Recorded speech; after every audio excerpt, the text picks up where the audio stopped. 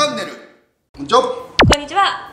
なんか壁ができましたね。はい、アクリル板がはい。できましてですね、まあ長い間撮影自粛してましたけども、はい。野球界もちょっとずつ動いてきてますしいろんな仕事でやってても対策しながらテレビとかラジオとかもやってるじゃないですか、はい。でその中でまあ専門家の人とラジオを共にすることがあったりとかいろいろお話聞くとこのアクリル板がめっちゃいいらしいんですよ。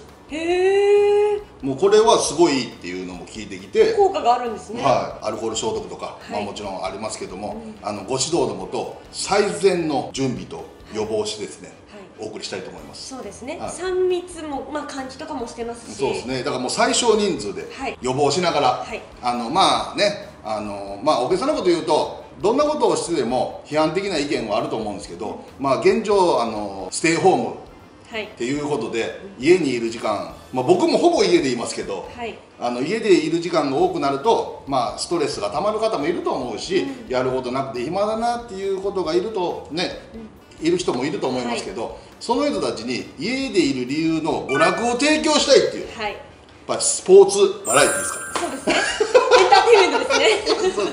そうでやった時に、はいまだストック結構十何個あるらしいんですけど、はいあの30何個から、まあ、着実に約1か月ぐらいで減ってきて、はいまだ十何個あるんですけど最新のニュースも取り上げていきたいじゃないですか。うんってなった時にあのまあいろんなね周りの人の努力とあの知恵を借りながらですね、あの多くのステイホームであの我慢している皆さんとあのためにですねなんとかやっていきたいということで、はい今回から再開です。はい。はい、だからあの以降もですねあのそれ前に取ったストックと混合していく場面あるんで、、はい。きなりアクリル板が出たりはい。いきなりアクリル板が外れたりしますけどそこはビフォーアフターみたいなそうですね。感じで、はい。あとはですねあのコメント欄でですね3密考えへんのかとかソーシャルディスタンス取らへんのかっていう意見が、まあ、ごく少数派ある中でですね、視聴者の皆さんがですねあのストックあるらしいよとかそのコメントに対していろいろフォローしてくださいまして本当にありがとうございます。あもうありがたい。で分かってくださってる方がね、そうそうそうそう。はい。その分かってない人にそういうのをみんなでこうなんかみんなで作り上げてる感あるですね。はい。あれ見てやっぱあのー一体感出てきたなっていう。はい。だからちゃんと一言も一句聞き逃さないで、うあの見てくださってる方が結構いらっしゃるありがたいですよ。よね、はい。というところですね、はい。やっていきますけど今日はですね。はい。あの先日もニュースになってた今年プロ野球シーズン中止かもっていう。いやでもその可能性出てきたんじゃないですかやっぱり今の状況を見ると。いや出てきましたよね、はい。ってなった時にその僕も知らなかったんですけど、はい。野球協約で野球協約第17章第159条に、はい。ホームゲームの最低試合数は60試合って定められてるんですよ。ええをしないとはい。シーズンとして認定しませんよっていう。ー、えでももう結構危なくないですか？だって実際試合って143試合ぐらいで、ホームゲーム70試合あるじゃないですか、は10試合しか削れないってことですよホーム。いそうですね。はいだからホームだからホームビジター20試合ってことですね。そうですそうです、はい、だから120試合ははい。やらないとシーズンとして認められないって、まあ、野球協約に載ってるわけですよ、はい。っていうのを先日 NPB の事務局長が、はい。あのインタビューに答えてる記事を見て、はい。知らなかったんですけど、はい。それ知らないですよね。そんなことなかなかないですから。そうなんやと思って、はい。これは一大事と思って、うん。じゃあどうやったら中止にならないのかを考えてきて、はい。まあ交流戦も中止になって、い。ってなった時にじゃあ多分オールスターも中止かなと。はい。ここはもう思い団長の思いで。そうですね。でクライマックスシリーズあるバージョンないバージョンで考えてきたんですよはい。であるバージョンで考えた時に、はい。でまあ、プロ野球の今の基準は2月1日からこう11月の末までって決まってるんですよね、はい。が試合化登録なんで1月12月はまあ試合とかできないわけですよね、はい。って考えた時に、まあ、じゃあ11月の末、まあ、多少12月の頭かかってもそこは要相談ではい。選手会となった時に、うん。そこが多分最後のデッドラインなんで。そうですね。契約としては。でクライマックスシリーズやるってなるとクライマックスシリーズと日本シリーズで、まあ、約1か月かかるんですよ。はい。ということは11月まるまるがクライマックスシリーズとはい。日本シリーズって考えた時に、10月までですね。はい。で120試合って考えた時にもう超キツキツでやったらはい。週1回休みとしてずっと6連戦。はいってなったら大体1か月に26 6試合ぐらいできるんですよ。うんうん週1休みだったら。やったら。だから4回休みだったら26試合うできるわけですよね、んはい。もしくは、まあ、4でやったら四六24試合、うん。4週間で考えると、はい。だからまあ25試合ぐらいできるんですよ。平均的に言えば、はい。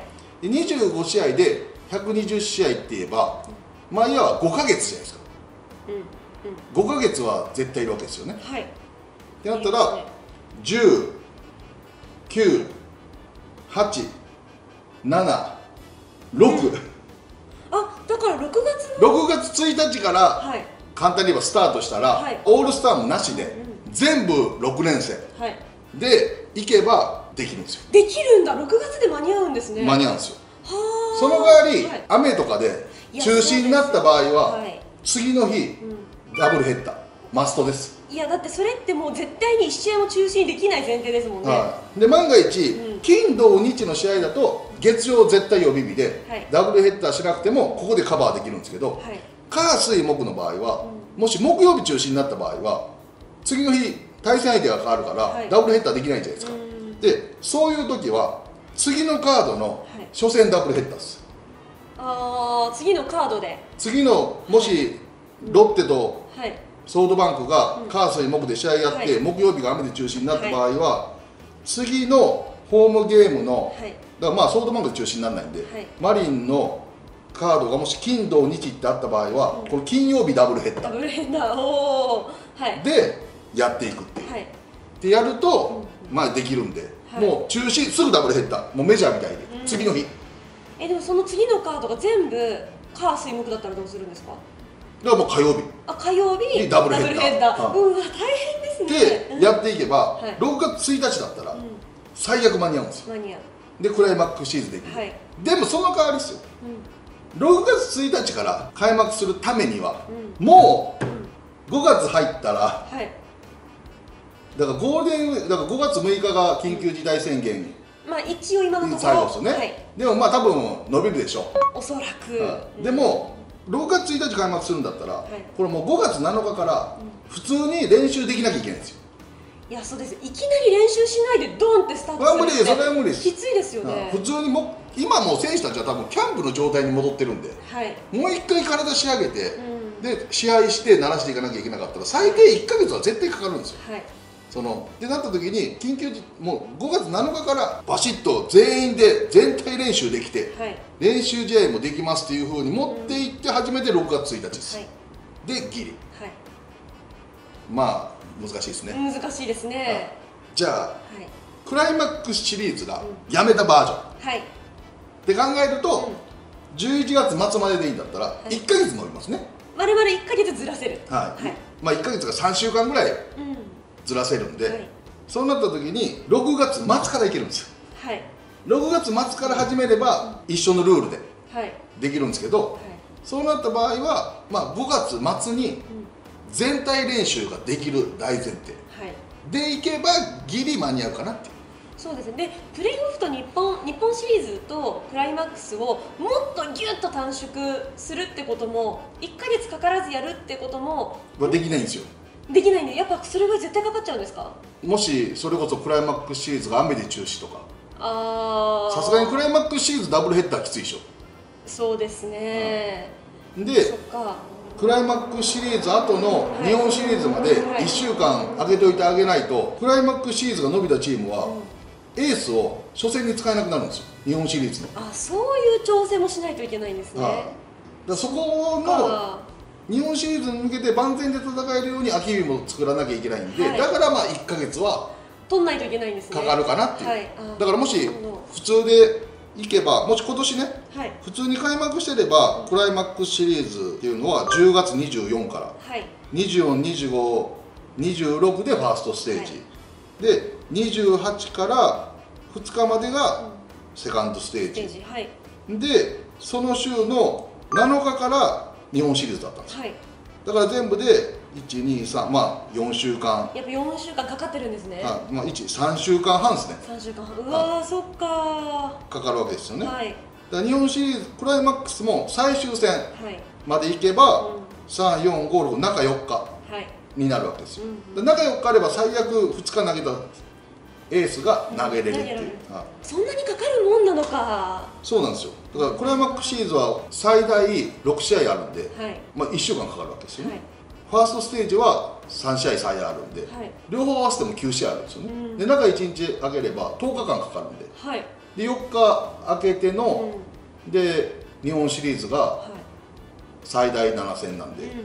だからに3週間絶対かかるんですよ。絶対そうですね、まあ、そしたらまあじゃあそのプレーオフをやめたとしても6やめたとしたら？やめたとしても6もう6月？末か7月1日から開幕。開幕はしないといけない。しないと、はい。その120試合で考えたら。ね、120試合をっていうルールのままいくんだったらもうそこがマストです。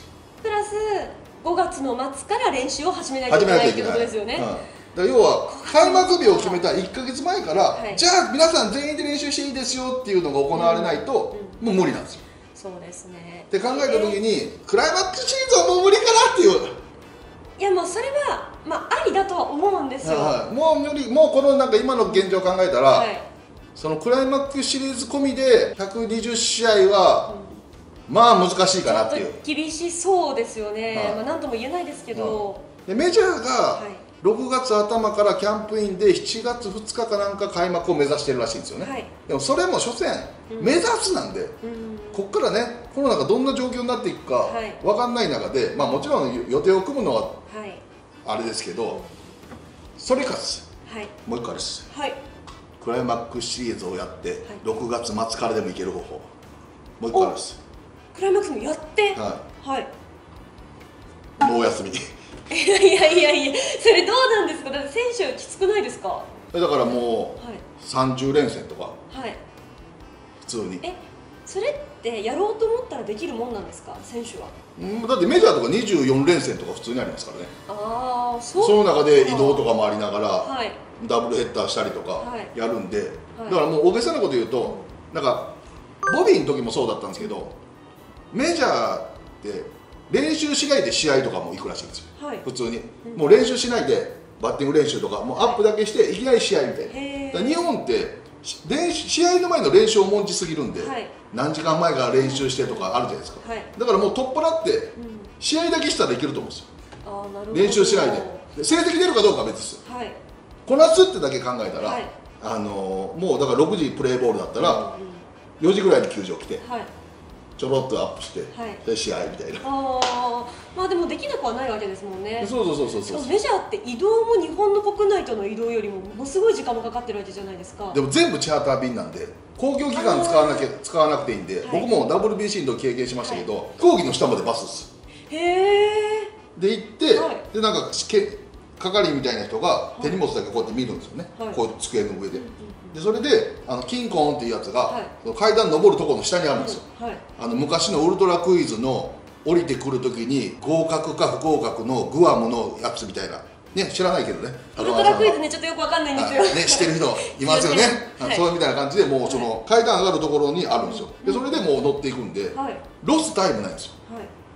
その1時間前に空港行ったりとか、はい。あと遅延とかもないしはい。もう乗ってじゃあもう本当ドアトゥドアぐらいの感覚で行けるわけですね。で着いたら、はい。飛行機の下にバスがあるんで、うそれ乗ってホテルなんですよ。へえまあ移動はじゃあまあ時間はちょっとかかるとはもちろん思いますけどアメリカ国内なんで、でもそんなにじゃまあ苦じゃないってことなんですね。時差あったあるから、は昔に戻るパターンはね。だから10時にはい。飛行機飛んだのに、着いたら10時あるらしいんですよ。ああなるほど。っていうのもある。だから逆に10時に飛んで、普通だったら3時間かかってはい。1時なのに朝4時っていうパターンもあるわけですよね。そうそんなこともあるんです。あの前に行ったら。前に。あらそういうのもあるらしい。そういう時は中1日空くらしいですけど。あはい。うんうん。だからまあやろうと思ったらできます。だからもうね。あの、まあ、途中でどっか空いたとしても、うん。30連戦1球30連戦 1球みたいな感じでやると、はい。で要はまあ1か月に、ん。じゃあ31日だとしたら、はい。30試合やったらはい4か月でいけるんですよ月一休みですか？はい4か月。4ヶ月。そしたら、はい。クライマックスやるとしたら10だから、い。10、9、8、7でいけるんです。よあでもですねでもそう考えたら、はあのーいけるでしょ。い、いけいやでいけますしいや思ったのはせ出る選手の層がまた全然変わってくる可能性があそうだからもうあの勝手にチームが休みとかはい。入れたりとか、その監督の手腕はい。チーム力すごい大事になってきますよね。だそうしたらそしたら2軍と1軍のその、まあ、10日間、うん。その抹消したら出られないとか、その規定はちょっと変えていけば、うん。2軍の選手と1軍の選手をこううまく入れ替えて、うんそうそうそうそうねそれから選手一軍登録を今年だけ増やすとかねはい、あそうですね。29人だからベンチ入りが25人、はい。ここは変えないけど今29人一軍選手登録ですけど、はい。35人にするとかね。いやそうしたらなんかできそうな気がしてきますね。それはそれでね、はい。面白いと思ういや見てる方面白いですよ。だからねできないことはないんですよ。どれ取るかっすよ。いやあとは、はその120試合っていう規定をもう変える。まあそうですね。はい。でもあのこれもうすぐ変えれるんかどうかっていうね。まあそうです、だね、ってオーナー会議もテレワークでしょ確かに。そこでこんな大事な決定をできるのかっていう。でそれをうんそのほんのこの1か月の間にはい。分かんないですよ。法律じゃないからうん。すぐ簡単に変えれるのかも分かんないですけどそれはもう特例としてう認めるのかどうかはい。認められないとシーズンやっても参考記録になるんですよ。で参考記録になるとうん。どんだけヒット打ってもどんだけホームラン打ってもうん。公式記録に残らないんですよ。そうねじゃあ FA 取る選手も取れないってことですよね。とか2000本安打にもカウントされないとか何百本本塁打もカウントされないはい。タイトルもカウントされない。うん。ただ試合しただけで何も障害成績としてカウントされなくなるんですよ。じゃあ全部が1ビジョンみたいになっちゃうってことですそうねそうそうそうそうそうそううわでもそれってじゃあ選手の中でのモチベーションも下がりますよねねでこう解説する方もはい何に向かってみたいななんかもうすぐ優勝ですねとか、うんああ何本行きましたねとかそういうなんか目安がなくなっちゃいますよねだからそこはだからな規約を変えるはい。6月からやっての中6日でクライマックスあり。はい。6月末もしくは7月頭からやってのクライマックスシリーズなし、はい。7月頭から30連戦1球ではい。クライマックスシーズンあり、はい。でもその代わり使われる選手多い。どれ、はい。どれですかって言って。まあでもどれになってもこういつもと違うわけじゃないですか、もう見てる方はワクワクして楽しみますよ。でも僕はい。もう一つウルトラシー考えてきてすよ。シーズンができなかった場合っていう。はい。ね、はい。このコロナもなかなか収束しなかったりとかはい。した場合に、あのーできなかった場合、考えてきます。おもう言っちゃいますか。はい。はい、12球団ではい。クライマックスシリーズ。えどういうことですか？え？どういうことですかそれは？これはね、12球団でクライマックス？はい、トーナメントが、はい。要は66になるんではい。小さい山が2つうん。ですね。はい。でそれにうん。不戦勝の1チームがこうトーナメントでできる。あもう全部トーナメント全部トーナメントト方式。はい。でファーストステージはだから4試合しかないんですよね、はい。うん。でこれは3戦で2勝はい。したら勝ち抜け、うんで次のは準々決勝になるわけですよね、うんじゅもう準々決勝になっちゃうのか。ははい。いでそれは7戦はい。4勝。はい。でやっていってトーナメント、はい。うんうんでもシードみたいに生まれません？くじ引きっすそれ。もうくじ引き。はい。全部でくじ引きでだからもう、はい。セ・パ混合だからはい。どこに入るのは自由。ああえじゃあセーパーで分けるというよりはもうもう12球だから12球ただから予備抽選してはい。何番目に行くか、はい。で予備抽選は、まあ、昨年の順位から予備抽選して、で引く順番決まりますね、はい。で引く順番決まったら引いていって1番選んだ人からはい。好きなとこ入れる、早いのい。やもしシーズンがなくなったらそういう楽しみ方もありますよね。それをメディアでトーナメントも、はい。の抽選もメディアでやるんですよ。はい。で1位引いただからもしじゃあロッテが1位引いたらどこに入るかですよね、はい。でこれ不戦勝のところに行くと、はいホームゲームで試合できません。っうん。ていうデメリット、ああなるほど。うんうん。1回少なくなる代わりに、はい。まあ得じゃないですか、うん。その代わりはい。ホームビジターになるんですよ。はい。完全。うんうん。あの移動も最低限にした方がいいんで。はい。そのホームビジターもだからトーナメントの小さいところの左がホームはい。右がビジター。だうん。からホーム入りたいですよね。はい。でそこ勝った場合は勝ったチームがホーム。っうていうふうに今いろいろやっていって、んはいトーナメント不戦勝を選んでも完全ビジターになって収益減りますよっていう、はい。ホームを選んで1回戦からやるか、はい。ビジターでもいいから2回戦から登場するかを選んで、あとどこと対戦するかですね。はい。ソフトバンクとは無理っつって、はい。違う山行くのか。うーん。あーまあでもそういう駆け引きも面白そうですね。ロッテなんてうちはソフトバンクと相性いいからもういきなり倒すとか、っうんうんうんていうのも見せてはい12球団クライマックスシリーズでトーナメントでもしじゃあやるとしたらそのもう契約のギリギリの最後の11月とかで1か月かけてやるとか。もうできるようになったらですね、うん。もう11月でもいいしもうできるようそのもう世の中的にできるようになったらあもう最終的にはこれでいこうっていう。っはい。ていう。まあ、確かにシーズンの中止がじゃあ、まあ、決まったらそこに向けて練ることはね時間が可能ですもんね。それであもう面白い。12球団クライマックス。はいこれも結構ねうん面白いと思うんです。面白いですね、はい。い、やアイディアマンですね。いやなんとかしてできる方法っていう、はい。いやでもそれはもしシーズンが中止になってもファンはすごく楽しみそう。で盛り上がるじゃないですか、はい。でくじ引きからね、うおそこ行くんかみたいな、はい。お前来んな来んなみたいなね、はい。あ面白そう。どの山が優勝しやすいかなっつって、うんうん。で優勝賞金をはい。めっちゃ作るんですよ。だからもう何十億。はいいやでも観客の収入がないんでちょっとそれ収益ちょっとでもひょっとしたら11月ぐらいで入れるかもわかんないじゃないですかあまあそっか。それでも今までのその収益がないのに出せるんですかねスポンサーとかも。だそこはだってもうその全部でだってちょっとしかないから。うんまあそうですね。気合で、はい気合で、まあ、賞金も出して、はい。はい。あとはあのチームが全チーム1億円出して、はい。総取りとかねああ1億円ずつ出してそれを1あ位だから1チームは11億円も11億円11億円。か。まあ、自分ら出さなくていいからね、はいそれかもう NPB も1億円出して、はい。優勝チームが12億円もらえるようにしてはい。でそれを経営に回す。だ か次のシーズンの補強がすごいかもしれないですよ。ら優勝したチームは給料据え置きみたいなね。はい。ああできるっすよね、そっか。まあ選手のお給料もどうなってくるかわかんないですしね、うん。はい。まあこういう案もあるんですけどね、うんうん。まああの普通に開催できればいいですけど、はい。まあね皆さん何が好きですかっていう。そうですね、まあ、ワクワクしながらこう、はい。見見られない時期もどうなるんだろうっていうワクワクをちょっと持ちながらねそうですね。見ていきたいですね。はい。はい